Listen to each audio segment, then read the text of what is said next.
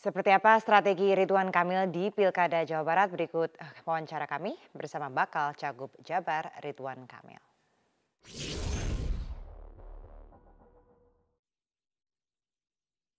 Ya saya kira dari setiap partai koalisi memiliki tokoh-tokoh atau calon-calon yang memadai dalam prosesnya sampai sebelum pendaftaran ke KPU terjadi dinamika-dinamika dan hal-hal yang berkaitan dengan kontestasi para wakil dan Pak UU sebagai salah satu uh, calon wakil dari partai koalisi dari PPP memang dalam survei-survei terakhir didapati sebagai uh, cawagup nomor satu yang rating atau elektabilitasnya tertinggi ya. Jadi selain akseptabilitas, kapasitas dan reputasi juga sebagai bupati dua kali periode yang artinya dipercaya rakyat Tasikmalaya sampai dua kali.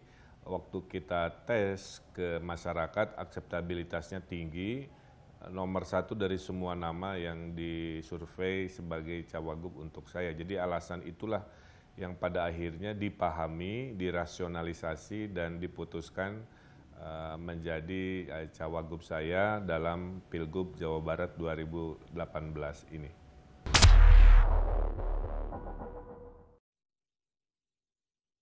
Caimin dengan baik memberikan pernyataan di media-media bahwa uh, beliau memang sudah memutuskan mendukung UU dan dulu juga bertemu dengan saya juga sama.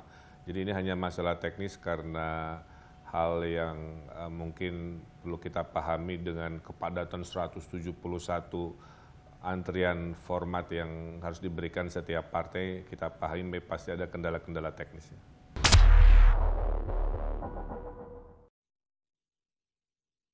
Ya, saya kira uh, Pak U ini adalah tokoh yang disukai oleh masyarakatnya, dua kali anggota DPRD, kemudian dua kali juga menjadi bupati di Tasikmalaya, uh, sering mendapatkan penghargaan, salah satunya adalah uh, program pengentasan uh, kemiskinan, juga berhasil mengurangi kesenjangan rasio ketimpangan ekonomi karena berhasil membuat konsep namanya gerbang desa.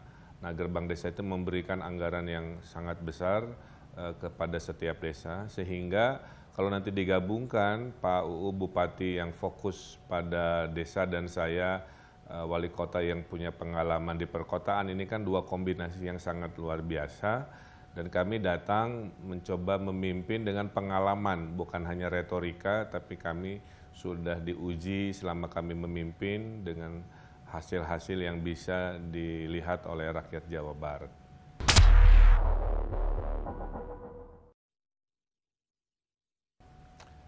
Jika di pilkada, kita harus pahami bahwa figur individulah yang menjadi penentu ya pengalaman-pengalaman membuktikan bahwa partainya kuat di daerah tertentu, belum tentu uh, calonnya juga kuat di daerah tertentu tersebut. Artinya ini harus kombinasi dari figur yang kuat dan baik dengan uh, partai yang memadai.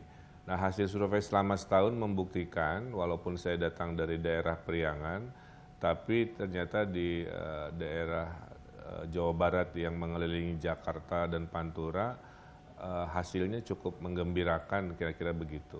Tinggal dalam lima bulan ini misalkan kita intensifkan karena masyarakat betul-betul uh, memilih karena apakah figur itu disukai, figur itu memiliki visi, itulah yang akan menjadi fokus strategi.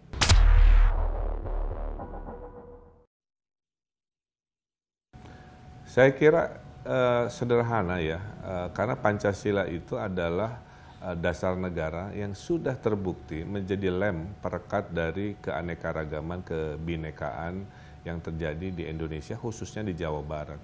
Jadi artinya Jawa Barat itu nggak boleh terlalu ke kiri, tidak boleh terlalu ke kanan, tetap di tengah, tetap memberikan ruang-ruang uh, dengan uh, dasar kepancasilaan. Tanpa diberi syarat ini pun seorang Ridwan Kamil tentulah akan memperjuangkan yang namanya Pancasila uh, sebagai uh, tawaran dan uh, cara membangun Jawa Barat yang seimbang dan berkeadilan.